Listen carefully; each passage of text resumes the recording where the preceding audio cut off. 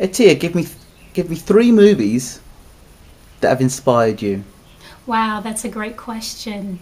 One of my all-time favorites is Sparkle.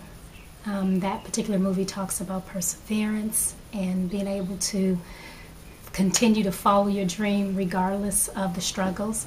Another one is Conversations with God, a phenomenal movie. And the third one would be The Ultimate Gift, which talks about appreciation and gratitude. Okay, thank you. Thank you.